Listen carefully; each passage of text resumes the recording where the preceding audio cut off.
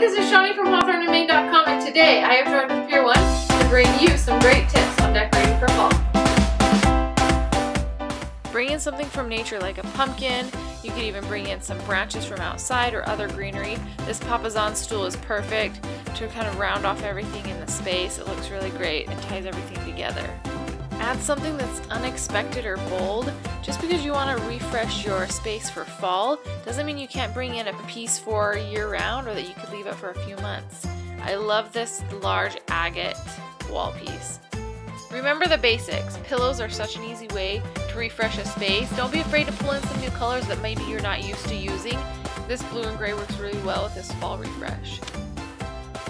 Base fillers like these little mini pumpkins are a great way to add a pop of color throughout the house.